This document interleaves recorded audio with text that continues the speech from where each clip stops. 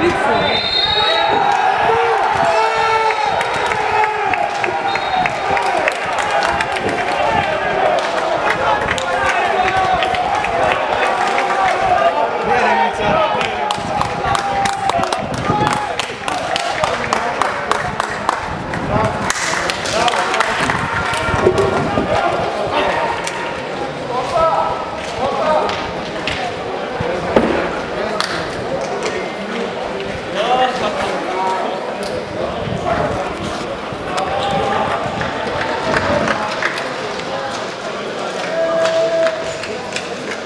Οδηγότερο παίκτη του τελικού κυπέλου Ελλάδος 2020, ο Λάζαρ Ανατέλοβιτ.